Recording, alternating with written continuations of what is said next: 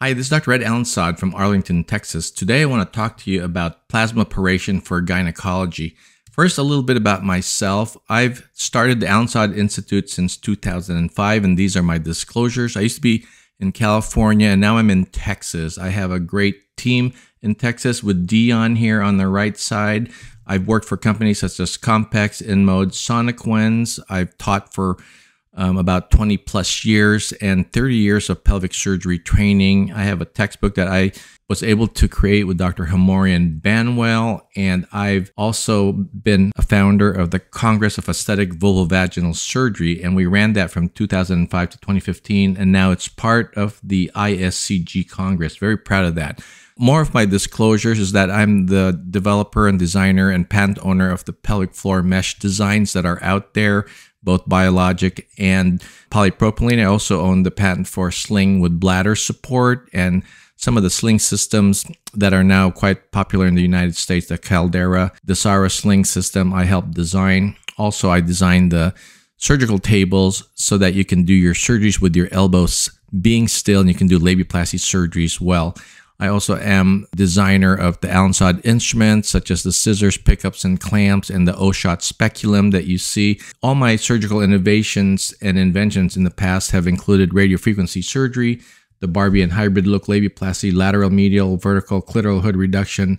The majoroplasties that are done nowadays are techniques I developed fat pad reduction, radiofrequency feathering and grooving for creating labia from no labia, pillar hymenoplasty technique, also the Femexa Vampire Wing Lift, microtumescent labial block that allowed in-office awake labiaplasty, and also the Pudendo levator block, which allowed in-office awake vaginoplasty, and also now the uh, in-office anal skin tag excisions. I also am the inventor of the Lone Star retractor that many of you um, have seen and may have used already. Also, the Thermiva is my invention from about 10 years ago. And also now I have the patent for genital predictive permeation or electroporation. And now we actually are using it as plasma poration. This is what I'm going to talk to you about today, the science of plasmaporation. So, what is plasma plasmaporation? It's a method of dermoelectroporation that's more modern. So, we call it plasma plasmaporation because of the plasma created at the tip. It's a device for tissue engineering and for also skin tightening, similar to radiofrequency treatments. And I also want to tell you what else it can do.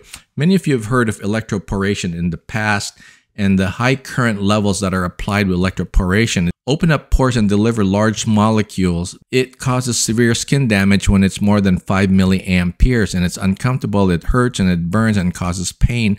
And in most cases, it's only for lab testing because they don't have good software. The first generation of electroporation are these devices that I've used in the past decade. I've used them all, and they're FDA cleared as an alternative to injections. So instead of using needles, you can use these devices to open up the water channels in the skin and push big and small molecules through the cell membrane.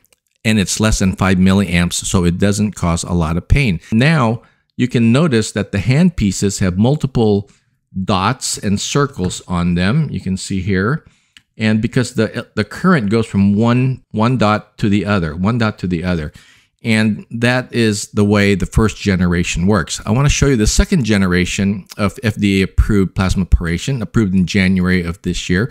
It's the Jett Medical 2 in the United States, and it's Jett Medical for her 2 all around the world. They are direct current and not AC current, and it creates a plasma at the very tip of the wand and it's able to freeze membranes, cell membranes open longer and have larger pores.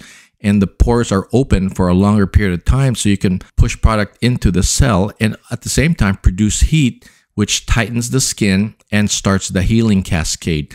The first generation you can see here had multiple metal circular probes here, and those open up the water channels, and you can push all these products under the skin, such as hyaluronic acid, PRP, exosomes, and it's bipolar. The second generation, the newer one, with a single metal tip. You can use a silver tip that's non ablative or a gold tip that's ablative. And these single tips are unipolar, but with the new unipolars, no hair gets stuck, and you can use this in the scalp, the face, the neck, the genital area. The alternating current AC power, there's oscillation and, and a sinusoidal pattern occurs. This is the old generation 1 system. The skin feels the, a uniform sensation, and an example of AC alternating current is radio frequency energy, and the tissue response is great to help relieve pain. It's used in TENS unit to help with muscle spasms, and it can induce deeper tissue effects without much discomfort. And it's also able to shrink tissue, like most of you know if you have radio frequency devices, but it has no electroporation. The second generation of electroporation is called plasma plasmaporation, and it uses direct current for tissue engineering. The direct current is a constant flow of electrical charge in one direction. It's a stable voltage and it creates a stronger electrochemical reaction and it uses specialized precision software to be able to do this. You can regulate the milliampere energy for the comfort and speed of poration or speed at which chemicals can enter the cell. It prevents burns and it helps tissue engineering and also tissue shrinkage.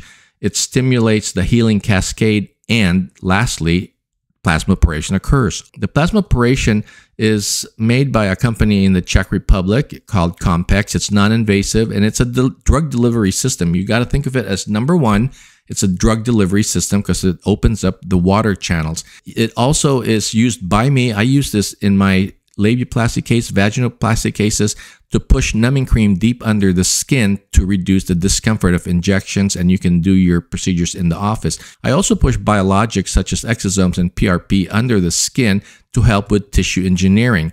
It results in also a tightened skin, lightening of the skin if you use vitamin C, and you can improve the sensation and heighten the sensitivity of tissues because, like radio frequency, it increases the small nerve fiber density. So it's a transdermal delivery system that opens up the water channels. Membranes are depolarized, it's reversible. The heat up to 42 degrees Celsius also starts the healing cascade.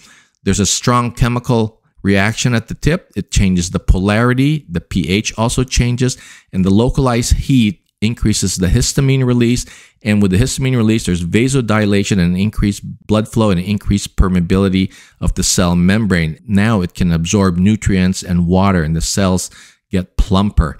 What can it do? Well, when you start the healing cascade, you stimulate fibroblasts, you have angiogenesis, collagenesis, elastogenesis, neurogenesis, very similar to RF. But now you have the addition of a drug delivery system. You don't just tighten the skin, increase the blood flow. You can actually deliver products into the cell. If you remember when radio frequency or plasmaporation hits these nerve endings, these blue ones at the bottom here, it releases vasoactive neuropeptides and causes the arterioles to dilate.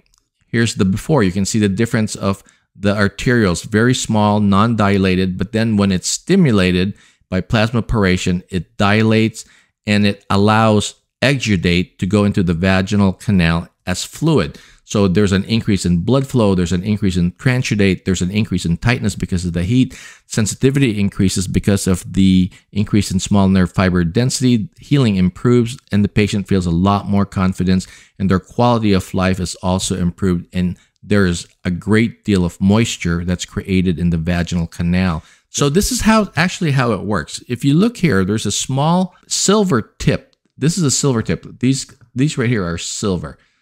So the silver tip is placed on the skin with a gel, and with the gel there, it protects from any prickly sensation. And then a micro discharge occurs in the gel between the applicator and the tissue. And these discharges cause an increase in electric intensity and will result in opening up of these cell membranes. And it reaches a certain threshold, the pores are opened up and they arise all over the cell. Lots and lots of these tiny little holes are created in the cell. The gold tips, if you use these right here on the right side, these tiny little ones, the gold tips you can use for HPV, molluscum, polyps because they are ablative, a surgical device with the gold tips. So what happens when you do these treatments with plasma plasmaporation? There's a local increase in electrical intensity causing nanopore formation. You can see all these nanopores form all over the cell. A high concentration of electrical potential here. So what can happen now is that these molecules can easily go through these pores, such as exosomes, PRP, amniotic fluid, even collagen, hyaluronic acid. It just plumps it all up and helps the cell stay healthy. Even vitamin C for lightening up the tissues. For example, using vitamin C for the face to lighten up the brown spots in the face or in the genital area to even out the skin tone. Here are the picture of the nanopores that you can see. So many of these are created along the cell, and it helps with the tissue engineering because now the electrochemotherapy and electrogene therapy can, can occur because you're pushing PRP or exosomes and other products in the skin for cosmetic treatments or even medical treatments. 90% of these substrates stay around for many, many days. So this is a device. It's small, it's portable, battery powered, and you have a foot control. Of course, you can plug it into a wall too, and it has eight intensities and it's zero disposables. Did you hear that? Zero disposables. You don't have to buy any disposables. It's the only direct current plasma device for gynecologic rejuvenation in the world.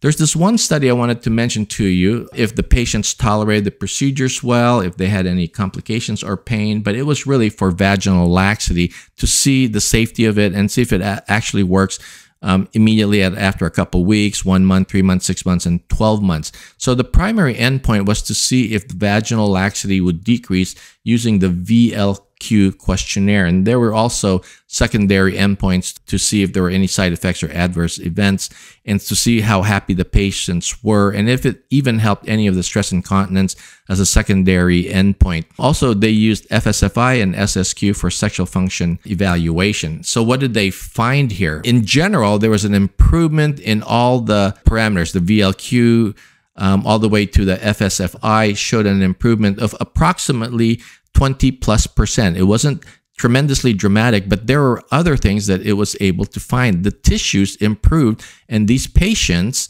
had an average of 118% increase in the thickness of the epithelial cell layer.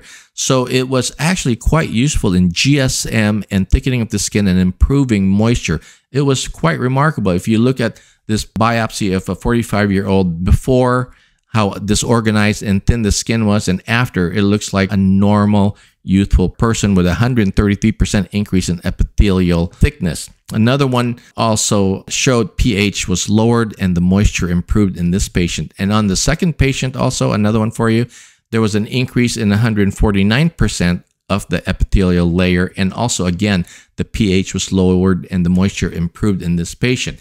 I'm going to show you about a minute of what I use it for here for numbing tissues up. You can see I, I sped this up a little bit. I put the numbing cream right onto the tissue and the numbing cream is absorbed as you open up the water channels and as it gets absorbed the numbing effect kicks in you can also use vitamin c to lighten up this tissue you can use prp or exosomes if they have lichen sclerosis to control the discomfort it increases blood flow thickness of collagen increase in elasticity and also increase the small nerve fiber density so it's quite a useful device and now i want to show you other things that it can do this is a patient that I did surgery on. And after I did the surgery, I used the plasma plasmaporation to plump up her tissues and help improve the healing. So this is the external treatment I'm using. On the inside, I can improve the, the moisture with this probe here. It 360 degrees,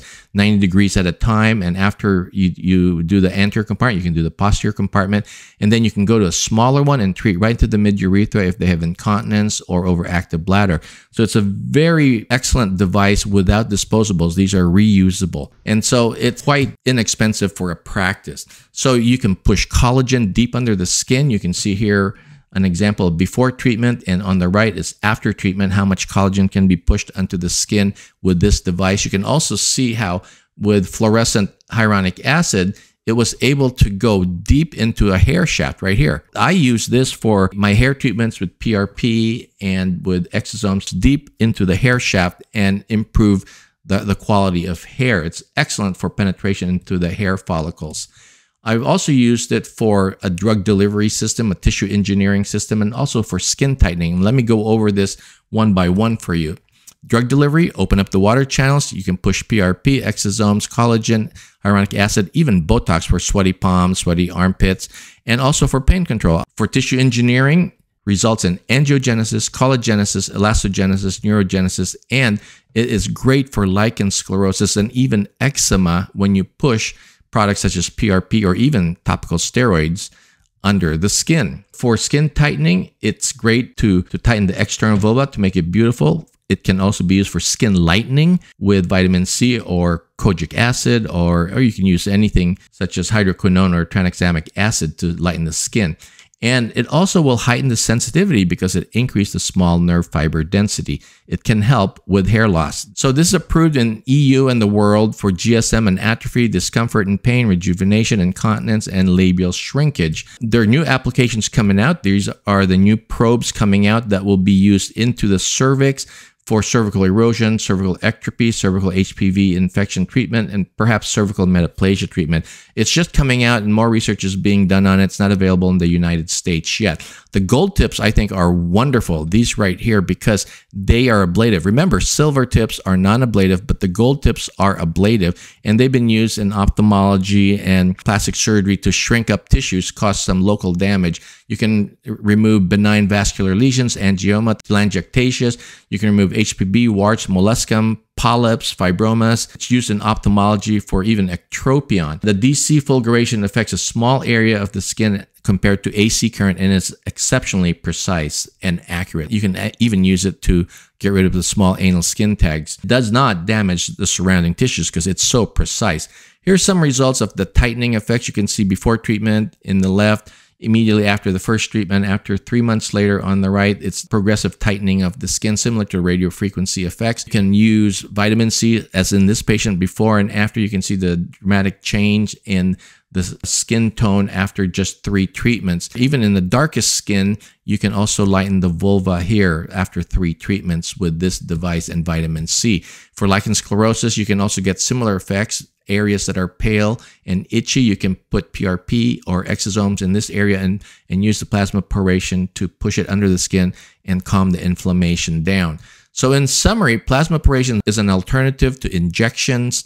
It helps with tissue engineering of the skin. It tightens and lightens, and it can heighten intensity of sensitivity. It's superior to electroporation and microneedling, and the silver heads have a similar biological effect as radiofrequency, and the gold heads have the precision and ablative effects of electrocautery, but very, very precise. It's one third the price of radiofrequency and lasers, so it's a great starting tool for those who are going to cosmetic gynecology to start with, because you can achieve things RF and laser cannot do, such as electroporation. It's the new standard for GYN or primary care practice, in my opinion and it's one box to rule them all. I really think this is the one box that can help a practice get started and get going in the non-surgical cosmetic gynecology field. So thank you very much. I hope you've enjoyed this. Go to mygyneflix.com and get more information on the surgical videos that are available there for you. For more information, take a picture of this. I'm at redgynflix.com. There's my telephone number